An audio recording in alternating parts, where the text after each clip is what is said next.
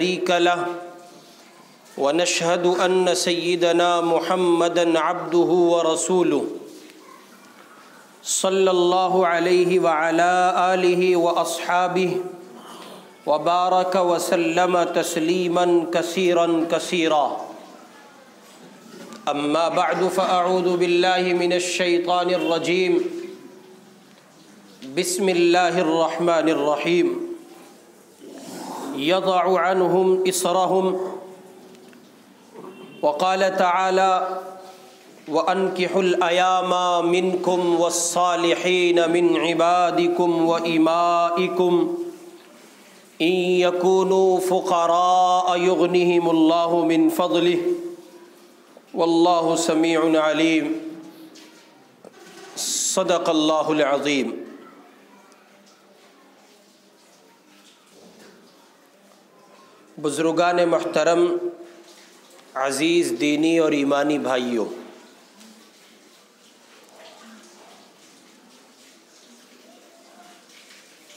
हमारे माशरे में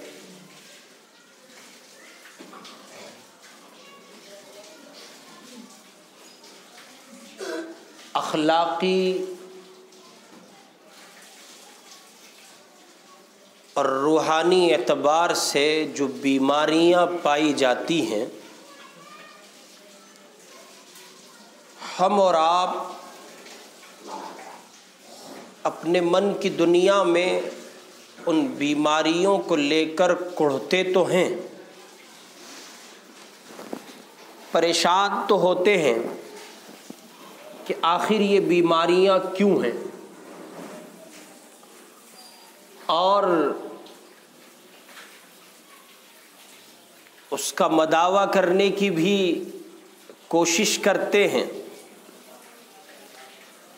मगर ये कि जो उसका इलाज है और जो उसकी सही माना में नब्ज शनासी है, बीमारी का सही माना में उसको परख कर, देख कर इलाज है। उसमें हम कहीं ना कहीं नाकाम साबित हो रहे हैं।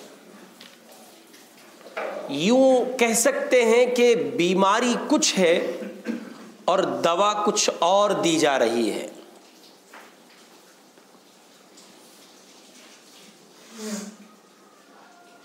और बिल्कुल ऐसे जैसे नीम हकीम खतरे जान होता है कि आप किसी अधूरे हकीम के पास पहुँच जाएँ और उस अल्लाह के बंदे से आप अपना मर्ज रखें तो आपका मर्ज कुछ और हो और वो दवा आपके लिए कुछ और तजवीज़ कर डालें। कुछ इस नौ की सूरत हाल है। हमारा मुआशरा फिस्को फजूर की जिस दलदल में गर्क है और इफ़्फ़त इसमत का तहफ़ होने के बजाय उसको दाव पर लगने का जो बाज़ार गर्म है, और क्या जवान, क्या बच्चे, और क्या बूढ़े, और क्या मर्द, और क्या औरतें बेहयाई का और औरियानियत का जो चलन आम हुआ है, और फिर उस पर उसके खात्मे की जो कोशिशें की जा रही हैं, वो बिल्कुल ऐसा ही लगता है जैसे बीमारी कुछ और है और दवा कुछ और है। मसलन, एक शख्स को भूख लगी है तो अब उससे ये कहा जाए कि साहब, आप बहुत ज़्यादा निढाल मालूम हो रहे हैं। क्या वजह है? तो उसने जवाब में कहा कि मोहतरम, बहुत शिद्दत की भूख लगी है। अच्छा भूख लगी है। आइए और उसे लेके बड़े अहतमाम से मस्जिद आए और कहा, वज़ू कीजिए। उसने वज़ू किया और कहा, दो रकात पढ़िए। तो अगरचे दो रकात पढ़ना, नफल पढ़ना, ये अपने आप में एक बड़ा अमल है। लेकिन भूख के खात्मे का ज़रिया दो रकात नहीं है। कि ये अल्लाह का बंदा वज़ू करे, दो रकात पढ़े और इसकी भूख ख़त्म हो जाए, ये इसका, इस दर्द का इलाज ये नहीं है। ऐसे ही मुख्तलिफ़ मसाइल हैं और उन पर जो कोशिशें हैं वो इसी नौ की हैं। बीमारियाँ कुछ हैं और उनकी, उनके खात्मे के लिए दवाएँ कुछ और तजवीज की गई हैं। इसी सिलसिले की एक बेराह रवि निकाह की दुनिया में पाई जाती है।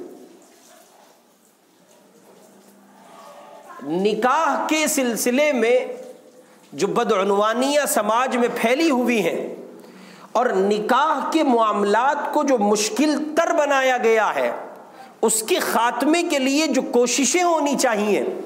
और रसूल अकरम सल्लल्लाहु अलैहि वसल्लम की शरीयत को सामने रखकर जो इकदाम किए जाने चाहिए, वो न करके वो इकदाम किए जा रहे हैं जिनके लिए ये कहा जा सकता है कि बीमारियाँ कुछ हैं और दवाएँ कुछ और गुज्त हफ़्ते भी हमने ये बात अर्ज़ की थी कि मज़हब इस्लाम में ऐसी किसी बात के लिए गुंजाइश नहीं है कि बंदा निकाह की पोजीशन रखता हो इस्तात रखता हो और इसके बावजूद वो निकाह ना करे। रहबानियत इस्लाम में जायज़ नहीं है।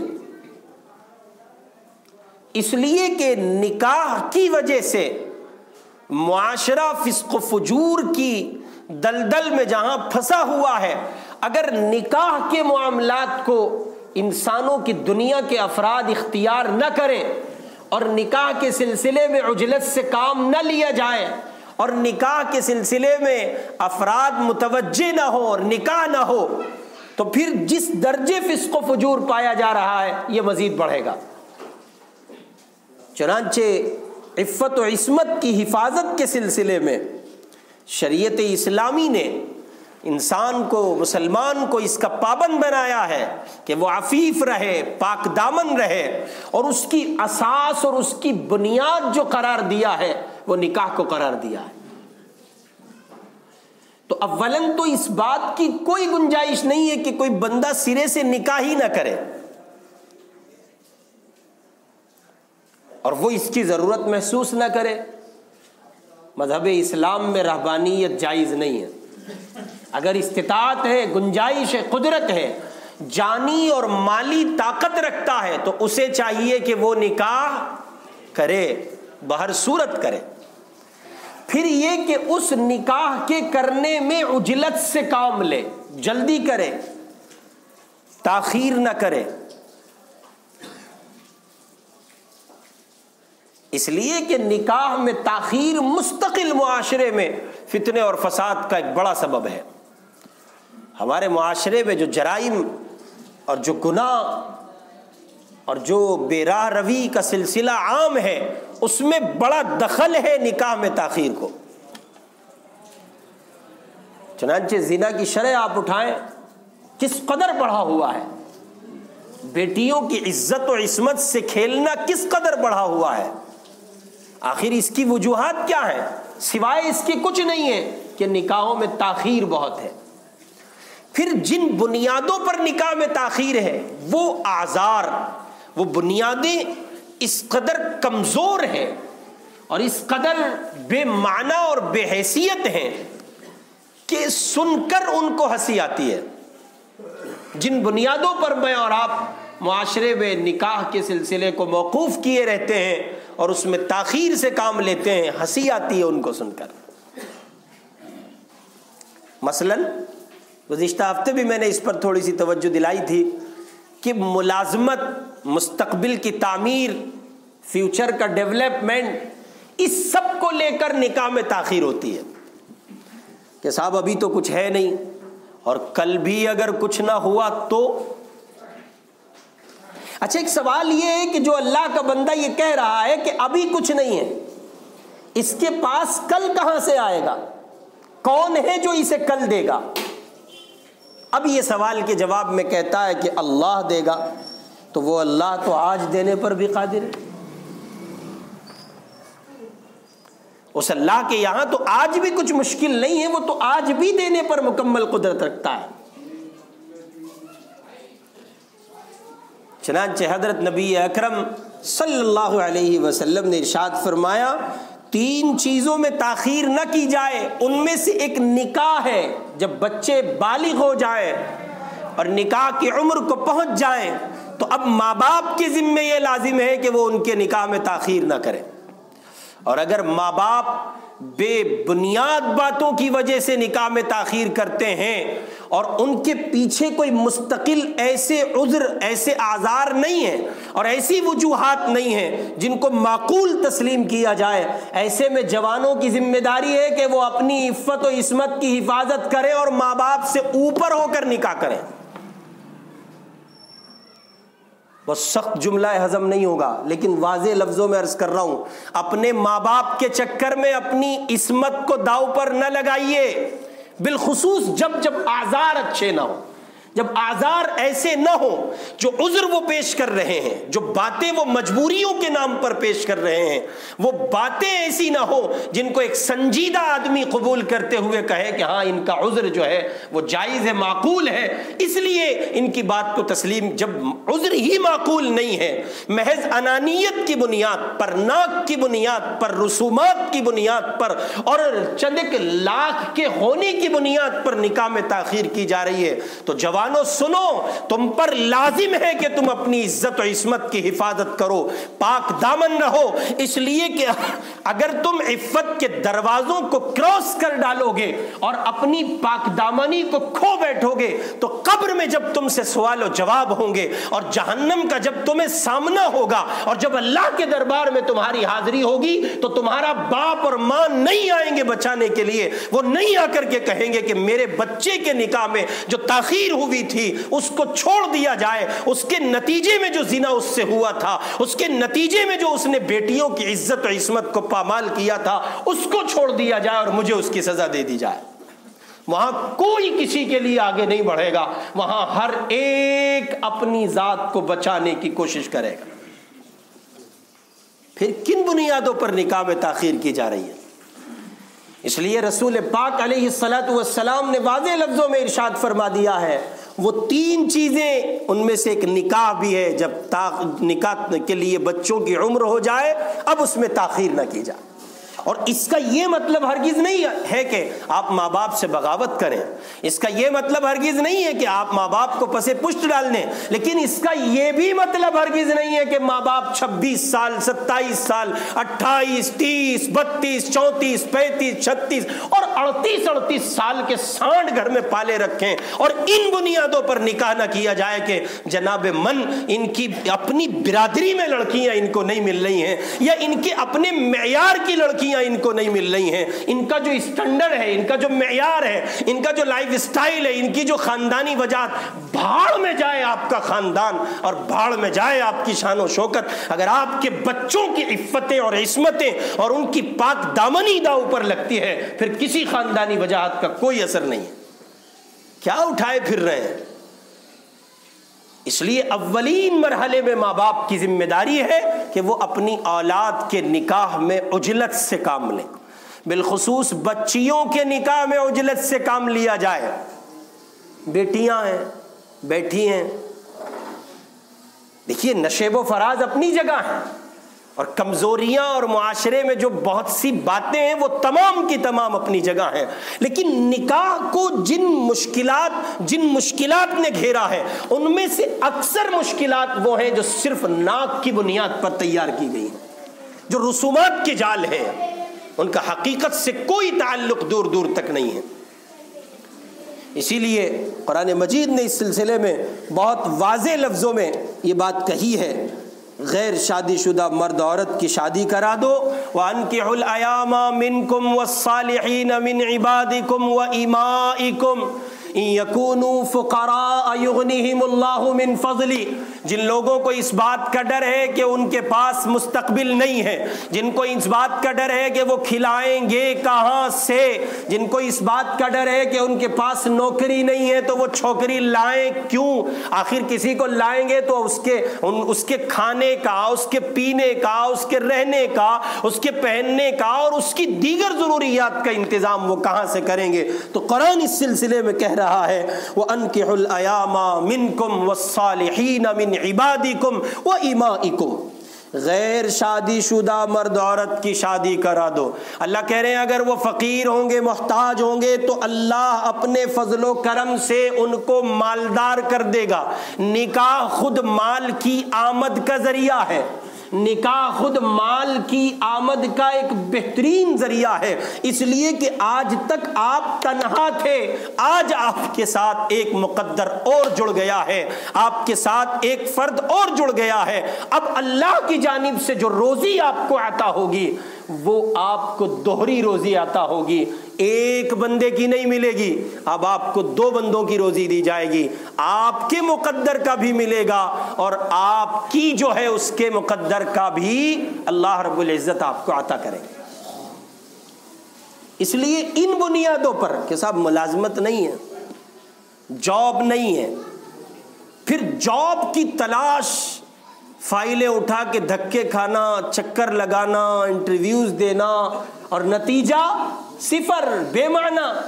उस दरमियान में जो अल्लाह का बंदा अपनी इज़्ज़त से खेलता है और इज़्ज़त को दाव पर लगाता है और किसी और की बेटी की इज़्ज़त और इफ्फत को तार तार करता है, ये समाज के लिए वो नासूर है। जब तक इस पर नज़र न की जाएगी, बहुत से ऐसे जराइम जिनके लिए मैं और आप दिन रात खात्मे की मेहनत कर रहे हैं, किसी सूरत उनको मिटा नहीं पाएँगे।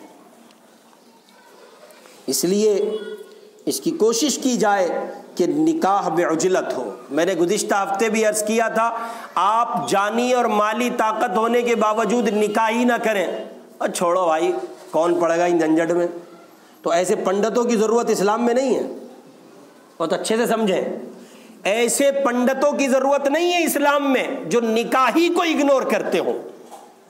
कौन झंझट पालेगा? अच्छा अगर झंझट नहीं पालोगे तो किसी की इज़्ज़त से खेलोगे, जिसकी किसी सूरत कोई गुंजाइश मज़हब इस्लाम में नहीं है, और उसकी इजाज़त वो नहीं देता है। फिर इसी के साथ साथ ये कि अब जब आप निकाह की बुनियाद चाहते हैं, आप चाहते हैं कि आप किसी से निकाह कर लें तो उसके लिए मैंने गुज्त हफ़्ते भी रिवायत पढ़ी थी, रसूल पाक सल्लल्लाहु अलैहि वसल्लम ने जो इरशाद फरमाया है तुन कहलमरा ली माली हा वली जमालिहा वली हसबिहा वली दीनिहा। ये चार बातें बुनियाद बनाई गई हैं। और इन चार में से भी एक को मुकदम रखने का हुक्म दिया गया है। बकिया तीन की वजह से अगर निकाह में ताखिर होती है तो उनको तोड़ने की खुली इजाज़त है। आप जिस खातून को अपने निकाह में लाना चाहते हैं, देखें, माल है कि नहीं। फिर जमाल है के नहीं। फिर खानदानी है कि नहीं। और फिर ये कि दीनदार है कि नहीं। लेकिन रसूल पाक सलाम ने इरशाद फरमाया, इसमें जो चौथी चीज़ है ना, उसको मुकद्दम रखना, इसलिए कि वो अगर ना हो और बकिया सब कुछ हो तो आप फितने में घिर जाएँगे। और बकिया कुछ ना हो, वो सिर्फ़ एक तीसरा, चौथा ऑप्शन जो दिया गया है, वो अगर लड़की की ज़िंदगी में होगा, और ये बेआईनी ही हुक्म लड़के के लिए भी है, वो अगर उसकी ज़िंदगी में होगा तो फिर आपकी ज़िंदगी में ये सारी चीज़ें उसकी बरकत से अल्लाह रब्बुल इज़्ज़त अता फरमा देंगे। हमारे यहाँ वो चौथा जो ऑप्शन है ना फर बिजाती दीन, तरीबत अदा का हजूर पाक सलाम ने फरमाया था, दीन को मुकद्दम रखना, हमारे यहाँ उसको सबसे मौखर रखा जाता है। और फिर उस पर शिकवा, शिकायतें कि साहब जैसा हम चाहते थे, वैसे हालात नहीं बन सके। दामाद जैसा चाहते थे देखा क्या था? क्या देखा था? बड़ा सा मकान? क्या देखा था? बड़ी सी दुकान? क्या देखा था? बड़ी सी गाड़ी? बिचौलिया से बड़े घुमा घुमा के सवाल पूछते थे। जो आपने देखा, वो आपको मिला। शिकायत किस बात की? है आप भी तो चाहते थे ना कि समझी आपकी जरा ऊँची सी रकम से मिलाई करें। सो उसने कर डाली। अब आप मोटी रकम की मिलाई पर बेड टी भी चाहते हैं, गरम गरम रोटियाँ भी चाहते हैं, अच्छे अच्छे खाने भी चाहते हैं तो मियाँ एक ही चीज़ मिलेगी या मोटी मिलाई ले लो या घर की मलाई ले लो। एक ही चीज़ मिलेगी, दोनों चीज़ें नहीं मिला करती। चुनाचे, जो बच्चियाँ माल लाती हैं, खूब तजर्बा है इसका।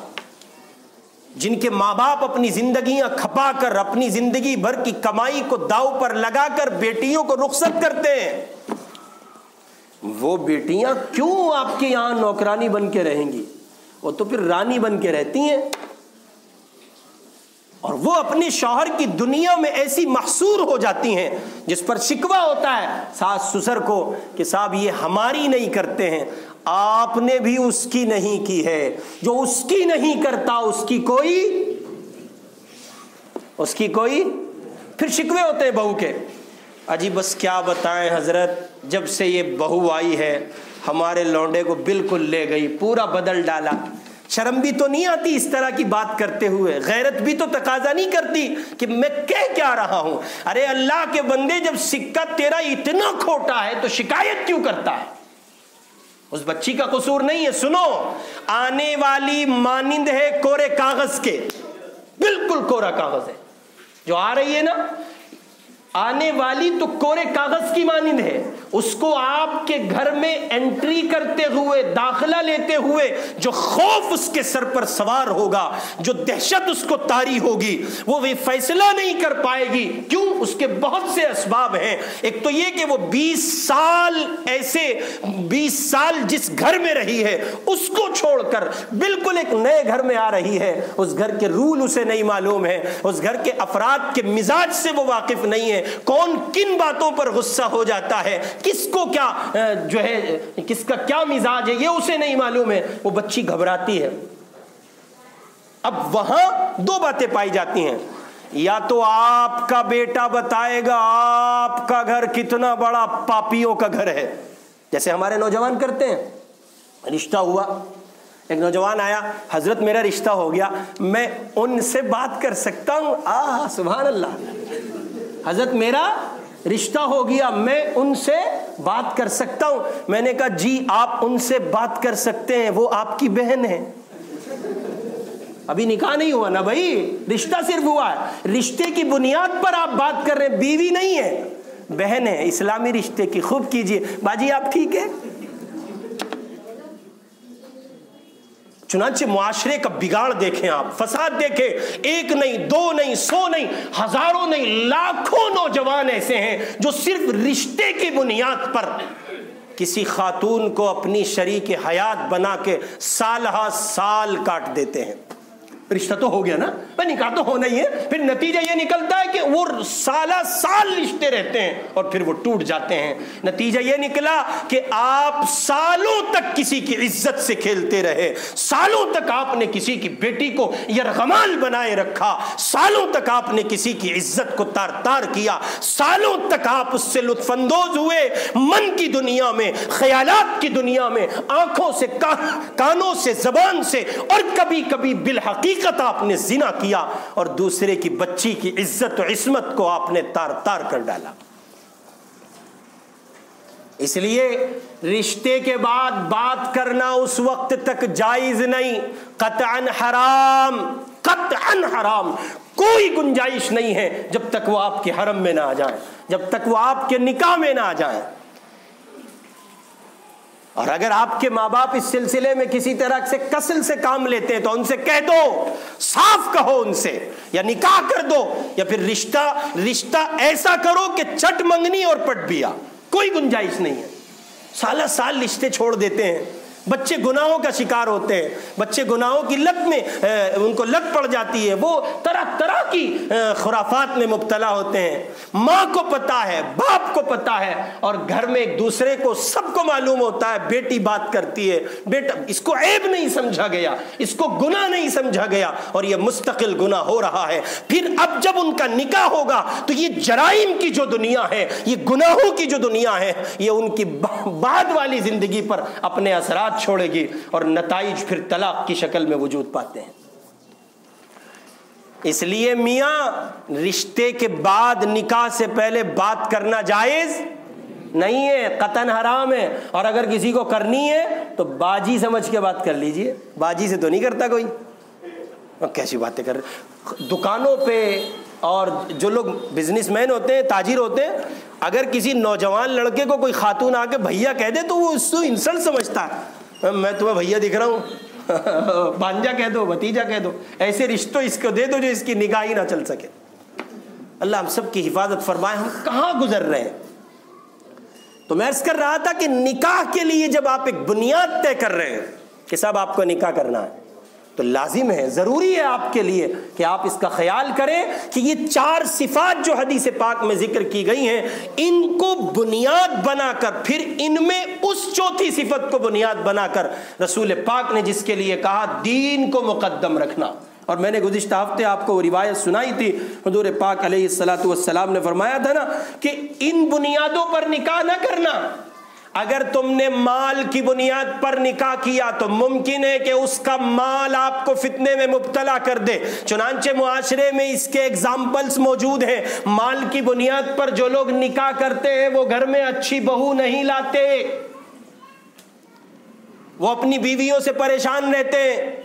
फिर वो ये जाकर के शिकायतें करते हैं, तावीज़ात मांगते हैं, हमारी बीवी हमारी हो जाए, मेरी ही रहे, इसका कुछ इलाज करें। क्यों? इन्होंने माल को बुनियाद बनाया है। फिर लड़की उस अंदाज से घर में नहीं रहती है। उसका जो सुलूक होता है, जो रवैये उसके होते हैं, वो ऐसे नहीं होते जो एक बहू के होते हैं। क्यों? इसलिए कि आपने शरीयत को इब्तिदा में ठुकराया, माल को बुनियाद बनाया है, सो उसके नतज आपके सामने आ रहे हैं। हजूर फरमा रहे, अल्लाह के रसूल सलाम ने इरशाद फरमाया, किसी औरत से शादी कभी उसके माल की वजह से न करना। क्यों? इसलिए कि मुमकिन है कि उससे तुम माल की वजह से शादी करो और उसका माल तुम्हें फितने में डाल दे। फिर फरमाया, उसके हुस्न जमाल की वजह से भी शादी न करना। क्यों? इसलिए कि मुमकिन है, सौ फ़ीसद इम्कानी बात है कि उसके हुसन जमाल की वजह से आप तबाही और बर्बादी का शिकार ना हो जाए। कई बार ऐसा होता है। और अजीब बात है, जो बिल्कुल ब्लैक है ना, ब्रैन लारा का भैया, उसे भी बिल्कुल साफ़ सुथरी, बिल्कुल एकदम दूध जैसी खातून चाहिए। अपने आप को तो देख ले। इसलिए इन इन चीज़ों को बुनियाद न बनाया जाए, वरना फिर फितने हैं। और वो तमाम चीज़ें हैं जिनके लिए मैं और आप फिर बाद में रोते फिरते हैं। और इसी के साथ साथ कई बार ऐसा होता है, हजूर अक्रम सल्लल्लाहु अलैहि वसल्लम ने यह भी इरशाद फरमाया, ये हसब नसब की बुनियाद पर बहुत बड़े घर की लड़की ले आए, बहुत बड़े घर की। इनके दादा ऐसे थे तो इनकी पोती ऐसी है। गलत है कुछ? इनके अब्बा इतने बड़े हैं तो इनकी बेटी इतनी बड़ी है। आप कह रहे हैं, जरा खाना ले आओ, चल उठ, खड़ा हो, ले ले। किचन में वो कुकर उस पर रखा है, गैस पे, गरम कर और खा ले। अव्वलन तो बेचारे लड़के इतने ढल गए हैं, मैं लड़कों की इस मेहनत को सलाम करता हूँ। नौजवानों ने अपने आप को ऑटोमेटिकली इतना ढाल लिया है कि वो निकाह से पहले किचन का रास्ता देख लेते हैं। भाई, बाद में भी बनानी है, पहले ही बनाने की आदत डाल लो। अव्वलन तो इस दौर के लड़के इतने ढल चुके हैं, और वो ढले इसलिए हैं वो अपनी उस वजाहत को, अपनी उस पहचान को निकाह से पहले खो चुके होते हैं, रिश्ते की बुनियाद पर बात करके। और वो लड़की ये जान चुकी होती है, ये शौहर बन के रहेगा या वेटर बन के रहेगा। जी हाँ ये जो पहले बात करते हैं ना, पहले जो बात करते हैं, ये अपना पूरा बायोडाटा दे देते हैं। मेरे बाबू ने लोती था ही नहीं था ही चलेगा पता, आ जा। तुझे पता चलेगा तेरे बाबू ने लोती थाई कि नहीं, तुझे खिलावे दी लोती। फिर वो नतज उसके मुरतब होते हैं। इसलिए मेरे भाई, निकाह में जिन चीज़ों को रसूल पाक सलाम ने बुनियाद बनाने का हुक्म दिया है, उन्हीं को बुनियाद बनाइए। और उनमें रसूल पाक ने ये तीन चीज़ें अगरचे इब्तिदा में कही है, लेकिन ताकीद के साथ रसूल पाक ने जो बात कही फर बिजाती दीन, मियाँ दीन को मुकदम रखना। क्यों? इसलिए कि दीन होगा तो इन तमाम चीज़ों का आना मुमकिन है। माल मुकद्दर के साथ है। माल मुकद्दर के साथ है। हसब व नसब की जो शराफतें हैं, वो अल्लाह ताला दीन की बरकत से पैदा कर देंगे। जहाँ तक हसन व जमाल की बात है तो पर्दे में बच्चियाँ वैसे निखर जाती हैं। ये तो तमाम चीज़ें बसानी आपको मैसर आ सकती हैं। लेकिन अगर दीन नहीं है तो फिर जो मुआशरे में फसादात रूनुमा है, उन तमाम फसादात से आपको गुजरना पड़ेगा। अल्लाह मेरी आपकी सबकी हिफाजत फरमाए। अर्ज़ कर रहा था कि निकाह के सिलसिले में उजलत से काम लीजिए। बच्चों के सिलसिले में हसास हो जाएँ। कहीं ऐसा ना हो कि आपके वो बेबुनियाद आज़ार जिन पर आपने बच्चों के निकाहों में ताखीर की है, कहीं ऐसा ना हो मियाँ कि उन आज़ार की बुनियाद पर आपके बच्चे जराइम की उस हद तक जा चुके हों जहाँ वो अल्लाह की निगाह से गिर गए हों। उसके लिए मैंने अर्ज़ किया कि माशरे में, निकाहों में जिन बुनियादों पर ताखीर होती है, उनमें से ये एक बुनियादी मसला मुलाजमत का है। मुस्तबिल की तामीर का है, फ्यूचर के फ्यूचर के डेवलपमेंट का है, कि सब फ्यूचर डेवलप हो जाए, बच्चे जो है कुछ कमाने लगे, उनके पास अपना घर हो जाए, मियाँ इन सारी चीज़ों का ताल्लुक मुकद्दर से है। अगर तकदीर में अल्लाह रब्बुल इज़्ज़त ने ये चीज़ें नहीं रखी हैं तो ये सौ फ़ीसद तय है कि ये निकाह के बाद भी वैसे ही रहेंगे, जैसे आज है। इन तमाम चीज़ों का ताल्लुक मुकद्दर से है। और अगर आपने निकाह में ताखीर की हुई है। चुनाचे शरीयत इस्लामी ने इस बात को भी पेश नज़र रखा है कि निकाह में अगर आप ज़ात पात की पाबंदियों और उसकी हद बंदियों की बुनियाद पर निकाह को मौखर करते हैं, इसके लिए भी इस्लाम में कोई गुंजाइश नहीं। जहाँ तक ताल्लुक है, और ये एक बड़ी रुकावट है।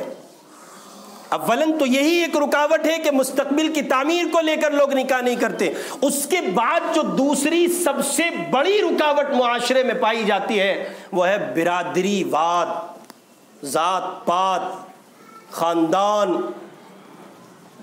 और फिर उसके बाद असबियत के छोटे छोटे कुछ पैमाने हैं, वो तमाम के तमाम। चनाचे नतज ये निकलते हैं कि अपनी बिरादरी में मिली नहीं।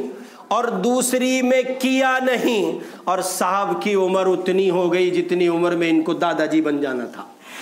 घूम रहे अपनी बिरादरी में मिली नहीं और दूसरी में किया नहीं। तो नतज क्या निकलते हैं? नतज ये निकलते हैं कि फिर वो बच्चे, वो बच्चियाँ गुनाहों का शिकार होते हैं। इसलिए शरीयत इस्लामी ने उस दूसरी बड़ी रुकावट को ये जो तबकाती हदबंदियाँ हैं, जो हमारे यहाँ इतनी शिद्दत इख्तियार कर गई हैं कि एक ज़ात की लड़की दूसरी ज़ात में नहीं जा सकती और इसी बुनियाद पर फिर बड़े सब मसाइल खड़े होते हैं। और मियाँ सुनो, इस रुकावट का खात्मा सिर्फ़ इस्लाम ने किया है, वरना दुनिया में मसावत के आलम बरदार कितने खड़े हुए हैं। हमारे इस मुल्क हिंदुस्तान में एक अजीम इंसान गुजरा है, इंसानियत के नाते, जिसको महात्मा गांधी कहते हैं, उस अल्लाह के बंदे ने भी बहुत कुछ किया है, लेकिन जात पात की जो हद बंदियाँ हैं, उसको वो भी नहीं तोड़ सका। और उसने तारीख में नहीं आप दिखा सकेंगे कि गांधी ने अपनी किसी बेटी का, या अपनी किसी बहन का, या अपनी किसी बिरादरी की, और अपनी किसी तबके की लड़की को, किसी हरिजन को दिया हो, और किसी एस सी को दिया हो। हरगिज नहीं, उन्होंने इन तबकाती हदबंदियों को बाकी रखा। चुनाचे जिस मुआशरे को वो चाहते थे, वो उनको मुयसर ना आ सका। और मज़हब इस्लाम ने अव्वलीन मरहले में इस किले को कमा किया है और तोड़ डाला है। साफ़ लफ्जों में कोई गुंजाइश नहीं। चुनाच नबी पाक सलाम ने अपने खानदान कुरैश की लड़की का निकाह हज़रत जैद इब्ने हारसा से कराया है। एक तरफ़ वो कुरैश खानदान की लड़की है और एक तरफ़ ये जैद बिन हारसा है जो गुलाम है, जिनकी हैसियत मक्तुल मुकर्रमा में मानवी एतबार से कोई नहीं है। लेकिन रसूल पाक चूँकि आलमी और आफाकी निज़ाम लेकर आए थे। आप सलाम मुआशरे से रजाइल का खात्मा चाहते थे। इसलिए आपने इस तबकाती हदबंदी का खात्मा किया और साफ़ लफ्जों में आपने इसको ख़त्म किया, कंडम किया और आपने अपने ख़ानदान कुरैश की लड़की का निकाह जैद बिन हारसा से किया। और फिर इसी के साथ साथ आप देखें कि सईदना बिलाल हबशी रदी अल्लाह तु जिनका वतन हबशा है और जो मक्तुलमकरमा में एक ग़ुलाम की हैसियत से रहते हैं, अल्लाह के रसूल सलाम के सहाबा ने, बिलाल हबशी ने निकाह का इरादा किया तो सहाबा ने अपने खानवादों की, अपने घरों की पेशकश उनको की। इस्लाम में जो मानवीयत निकाह के लिए तय की गई है, वो ये है इन अक्रमकुम इंदल्लाहि अतकाकुम। अल्लाह के नज़दीक जो मुआज़ मुकर्रम है, वो साहिब तकवा है और बिलाल से बढ़कर मुत्तकी कौन होगा?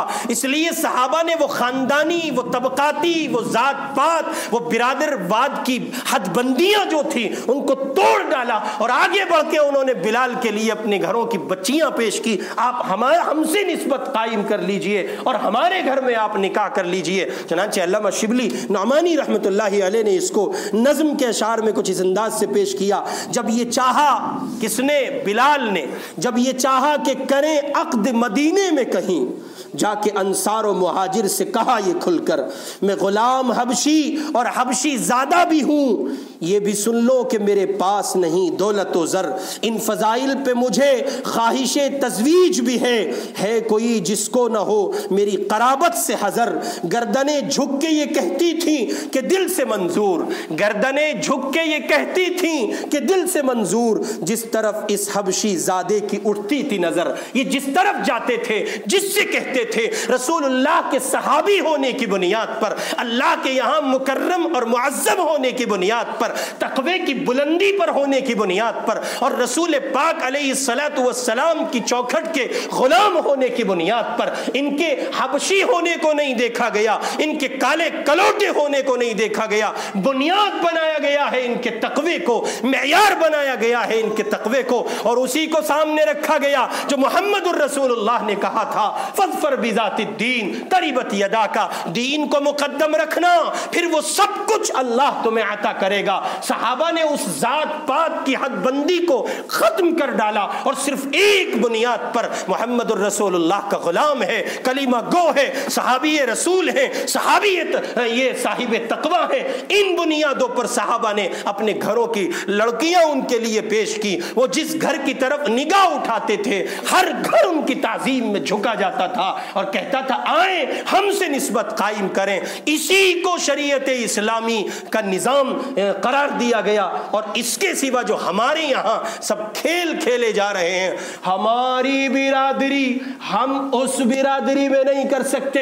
ये ऊँची बिरादरी मियाँ छोड़े, बकवास ना करें, फजूल बात ना करें। हम जानते हैं आप किस बिरादरी की बात कर रहे हैं। जहाँ जहाँ अखलाकी अकदार की पामाली होती हो, जहाँ जबान खोल खोल कर जहेज मांगा जाता हो, जहाँ खुद को भिकारी तो बनाकर पेश किया जाए आप ऊँची बिरादरी के हैं। आप बात करते हैं, जो जो बिचौलिया को ढंग ढंग से घुमा के सामने वाले की दौलत का जायजा लेते हैं, वो बात करते हैं कि हम ऊँची डूब मर जाइए आप अपनी ऊँची बिरादरी को लेकर और किसी गंदे नाले में डूब के मरिएगा ताकि आपको मजीद पछेमानी का सामना करना पड़े।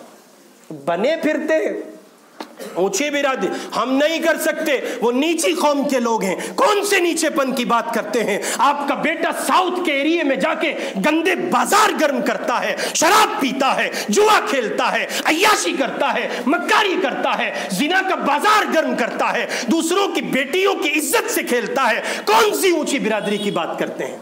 आप खानदानी वजाहत की बात करते हैं? आपके पास माल बहुत है। मियाँ डूब मरिए। कारून के पास भी था फिर के पास भी था नमरूद के पास भी था। ये सब जालिमों का एक जथा है। इन सब के पास माल था। लेकिन अल्लाह की निगाह में मुआज़ नहीं थे मुकर्रम नहीं थे। अल्लाह की निगाह में मुआज़ था बिलाल। इसलिए सहाबा ने कहा आए हमसे नस्बत कायम करें।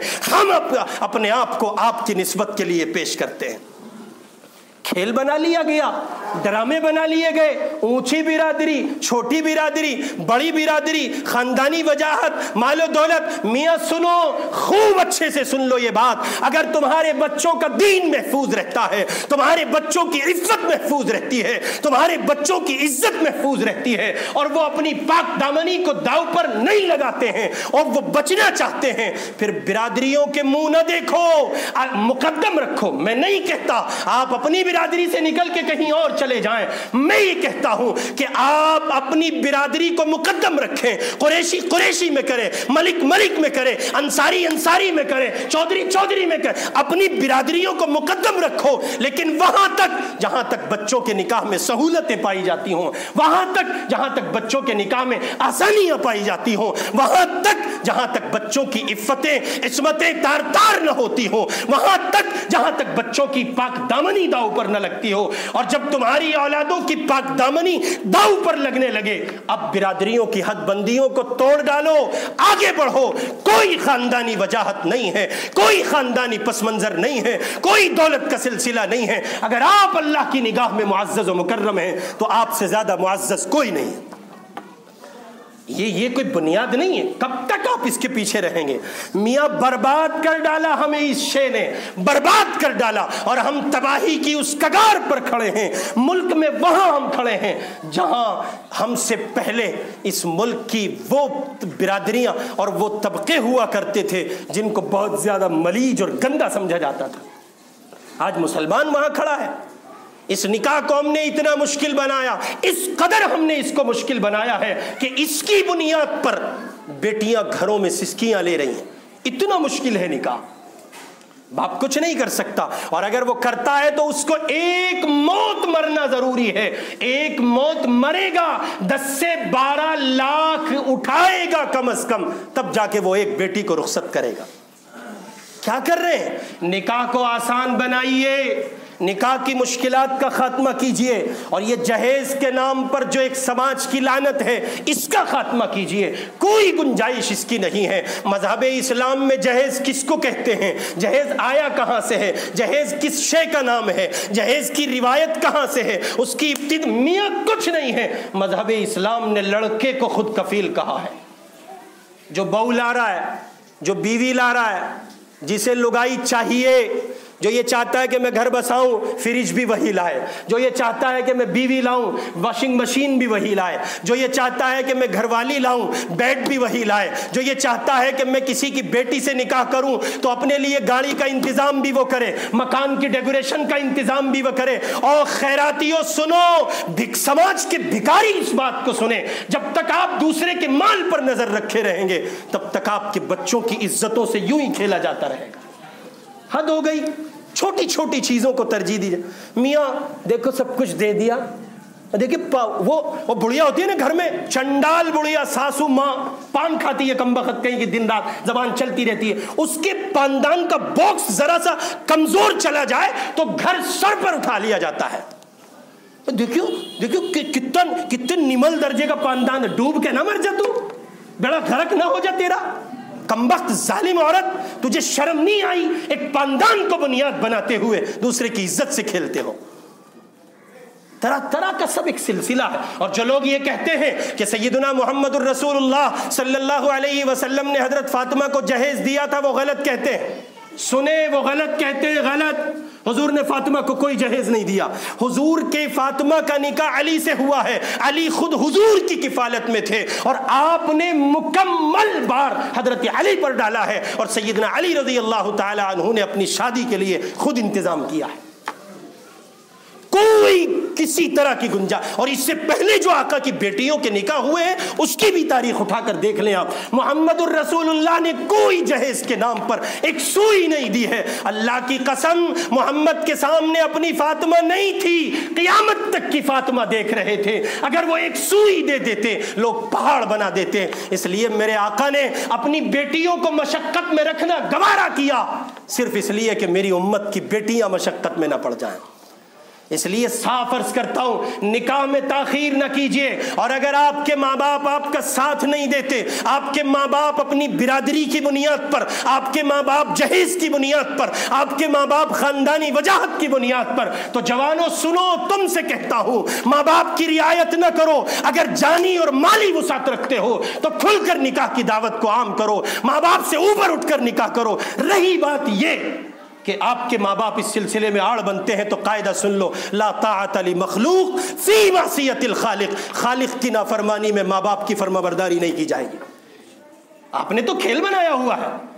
आप तो अपनी नाक लिए बैठे हैं। आपकी नाक फिरौन की नाक है। आपकी नाक दज्जाल की नाक है जो कटने का नाम लेती है। हाँ, जब कोई बात होती है वो नाक कट। मियाँ बच्चों की ज़िंदगी दाव पर लगाते हैं। जब आप इस पोजीशन पर थे जब आप 18, 20, 25 साल के थे आपने क्या कुछ घर में उधम काटा हुआ? अपनी ज़िंदगी पर गौर नहीं करते? आपके बेटे ने निकाह की बात कर ली तो कोहराम मचा दिया। आपने उसे बेशर्म बेहया कहा। आपने उसे कहा कि तुझे लुगाई चाहिए आवारा हो गया।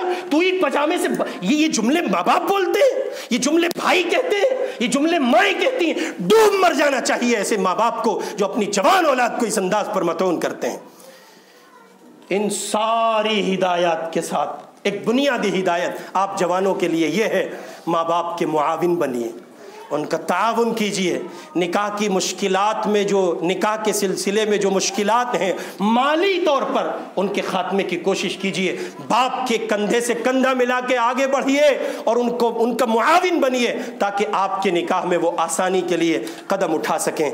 और उनका ताउन करते हुए निकाह की मुश्किल का ख़ात्मा कीजिए। ये चंद एक बेतरतीब सी बातें। अल्लाह रबुल्ज़त निकाह के सिलसिले में उजलत से काम लेने और वक्त पर अदा करने की तोफ़ी नसीब फरमाए। आखिर दावाना इस वीडियो को लाइक करें। कमेंट बॉक्स में दुआओं से नवाजें। चैनल को सब्सक्राइब करें। सदका जारिया की नीयत से शेयर भी कर दें।